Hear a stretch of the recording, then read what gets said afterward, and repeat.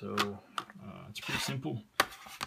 On the bottom, you remove the rubber pads and you'll have screw holes that you'll want to unscrew and I'm to put the rubber pads back on there because it gives it a little traction for when you have to plug in uh, uh, the power cord.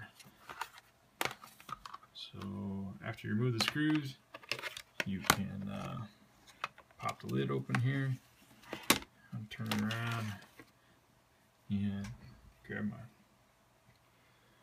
my tweezers where you can see that you need to short those two holes together and at the same time you're going to plug in your power cable right there.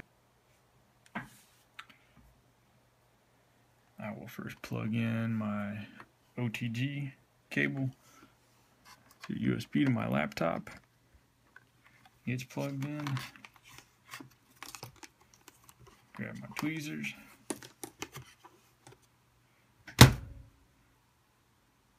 Short those two pins. Plug in the power supply.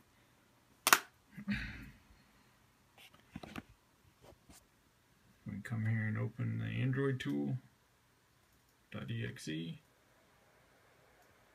and it says found one Maskrom device. If you don't see that fast found one Maskrom device, keep doing those same steps.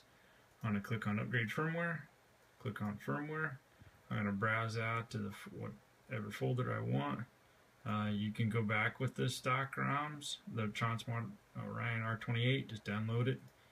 In there, you'll see the image file. You can pick on that. And uh, but today, actually, I'm gonna flash mine with the new OpenHOUR that just came out. pick that IMG file, and it'll take a minute. And now I can click upgrade. It's gonna uh, this will take a few minutes and be really patient with this. Some of the instructions say wait up to five minutes uh, before you plug in your HDMI cable to your Tronsmart and uh, and and, and get the new ROM on there. So be patient.